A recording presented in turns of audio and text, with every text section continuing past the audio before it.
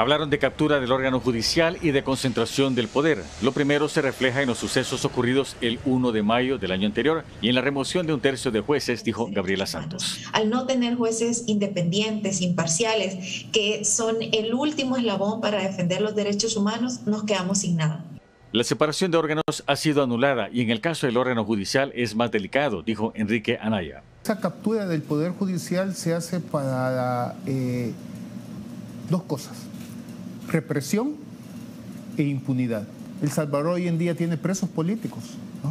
Y la otra vía es permitir la impunidad. Y veámoslo, digamos, también en nivel interno. El radical cambio inmotivado de ya no extraditar líderes pandilleros.